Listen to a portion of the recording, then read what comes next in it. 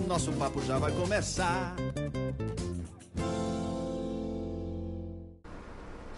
Uh, hoje eu acordei, me deu saudade de você. Vontade de beber, vontade de beber. Lamperina!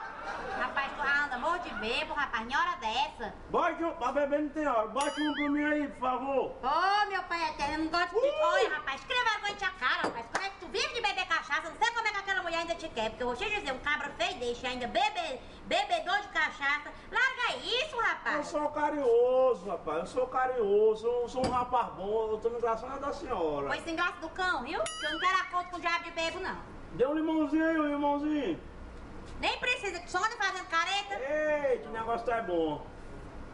Vou pedir o seu Raimundo dar um guarda-chuva, porque tu bebe, tu tanto tu fala como tu cospe a gente. Ah, cuspida, banhada de custo. Diga um negócio desse não, eu tenho tanto carinho e respeito pela senhora. Aqui tá boa, viu? Rapaz, larga essa cachaça, Zé Raimundo. Tinha direito de criar até os meninos, Zé Raimundo. Eu vou largar, eu vou largar. Pô, largue.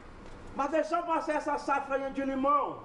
Rapaz, olha, que- qual é o cabra desse? Passar a safra de limão, vem a, safra- a safra dos caju, da siriguela, do zimbu. Aí é que tu não larga mesmo. Foi. Bote mais outra aí pra me aproveitar essa salada de fruta aí, bote. Olha o cabra desse. Bote, bote mais outra. O que tá acontecendo aí? Esse caboclo bebo, seu Raimundo. Deu uns conselhos pra este homem, tá utilizado. O figo desmanchado. Tu ainda tá nessa, criatura? Nessa não, Samuel, eu tenho outra. Já é outra. Ah, essa eu já tomei. Tu larga esta cachaça de mão, criatura. Outro dia eu vi uma palestra de um rapaz, de um médico, falando muito bonito sobre esse negócio, dos efeitos do álcool no organismo do ser humano. E ele falou umas coisas muito boas e inteligentes. Ele fez lá na palestra dele uma, uma explanação, falava as coisas, botava, pegou duas garrafas, uma com água, outra com cachaça. Na garrafa com água ele mergulhou um verme, profit. Na garrafa com cachaça ele mergulhou outro verme, profit. Pois na garrafa com água, o verme ficou vivo. Já na garrafa com cachaça, o verme morreu. Seu Raimundo quer dizer que quem bebe não tem verme. Olha, Quer que não... Olha, olha o que eu Quer dizendo. É, quer não, o quer dele tá só a prestar? boca. Não quer prestar, não. Cachaça. Só agora a zoada aqui. Não quero saber de zoada, não, que agora eu vou assistir televisão. Televisão, seu Raimundo? Vou assistir televisão. Cadê essa televisão que eu não tô vendo? É porque é 3D. 3D. É difícil definir a dimensão. É azar. Presta atenção, que agora eu vou ligar. Muito boa tarde pro senhor, muito boa tarde pra senhora, muito boa tarde a todos do boteco. Nesse momento, nesse momento no centro de Teresina, me chama o Capitão Vomildo, me chama o Lêndia Nervosa, me chama o Lêndia Nervosa, meu filho. Vamos, meu filho, dá trabalho pra fazer. Me chama o Lêndia Nervosa, um engarrafamento, um engarrafamento no centro de Teresina. Mostra o engarrafamento. Mas não é nada disso, Netinho. Netinho é um morto. Eu tô aqui nesse boteco todos os dias da minha vida, fundamentalmente, explicando todos os dias ao Netinho, explicando ao Brito, explicando ao Pangaré. Os homens são uns mortos. Falando em engarrafamento, o engarrafamento que eu estava falando não é engarrafamento de cachaça, correto? Ninguém por falar em cachaça, pensa no homem. Pensa num homem que começou a beber desde quando era bebê, correto? A sua primeira mama. Corta pra, corta pra mim, corta pra, corta, pra essa.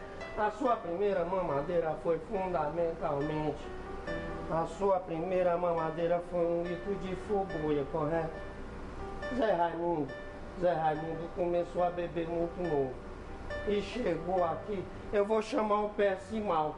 Péssimal, vem cá. Cadê a opinião do Péssimal? Péssimal, Péssimal. A pergunta que eu te faço é: o rapaz que bebe desde criança, correto? Ele bebe desde pequeno. Começou a beber muito novo. A pergunta que eu te faço é: tem futuro um rapaz desse? Com certeza é, não tem Marcelo, não tem futuro. Rapaz desse com certeza não tem. Mas foi justamente isso que eu te pedi, que eu te perguntei, ou melhor dizendo, Percival, tudo, o Percival, tudo que eu falo, ele repete. Tudo que eu falo. Percival, Percival, tu tá indo muito mal, Percival. Percival, raciocina comigo o seguinte, para que as pessoas de casa entendam. Um tamborete desse, um tamborete desse acontece o seguinte, é feito de couro curtido. A pergunta que eu te faço é, quem foi, qual foi a escalação da seleção brasileira em 1950? Não sei, não sei. Não sabe nada, não sabe nada. Não sei, não pensa sei. no seguinte, pensa no seguinte. Fundamentalmente, Zé Raimundo começou a beber desde quando ele batia exatamente aqui em mim. Entrou no boteco e fez um maior sururu, um maior arrasta-pé com a dona Piauilina, que também não é coisa muito boa. A Piauilina também não é lá essas vantagens de pessoa. Chegou e fizeram um maior sururu dentro do boteco. Põe na tela. Diga lá, Zé o que você quer, Zé? Bote outro aí pra mim. Você quer? Você quer café, né? É um cafezinho, bote um cafezinho pra mim, bote um cafezinho, bote, bote um cafezinho pra mim, bote. Café ainda agora. Beba aí o café. Hoje estou muito satisfeita, que você vai beber a café. Pensando bem, só troca esse cafezinho por uma dose. Eu vou te dizer, viu? Eita, sem vergonha braba. te Por isso pensa. que eu gosto da senhora, dona Clóvis. A senhora é nota 10. Tá aí. Ah, agora vai. O limãozinho.